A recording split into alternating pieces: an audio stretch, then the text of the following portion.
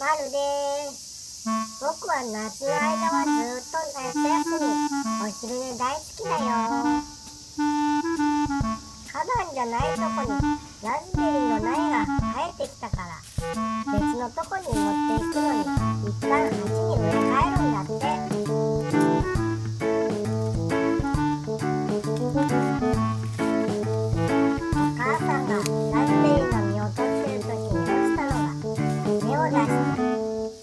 育ったみたい。ラズベリーさんおいしい実たくさんつけてね。これはコンポストだよ。野菜のくずとかいろんなものを入れて1年かけてできた。堆肥です。それを鉢の底にまず入れるんだってで土を取ってきて。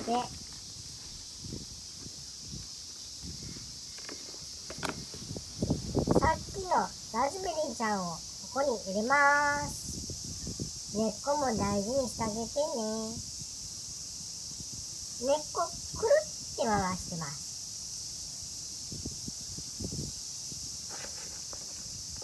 たくさん土を入れてあげてしっかり固定します。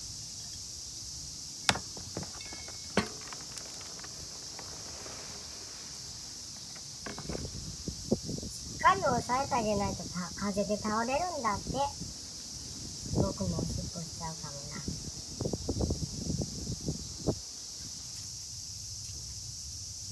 たっぷりお水をやってくださいね。暑いとお水飲まないと疲れるもんね。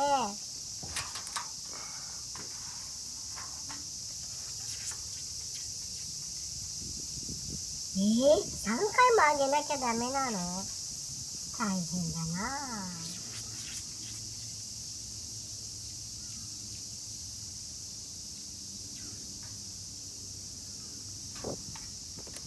あ油かすと貝の化石を混ぜて巻くんだって。本当は米ぬかさんも混ぜるんだけど今日はなかったから後で買ってきて乗っけるんだって。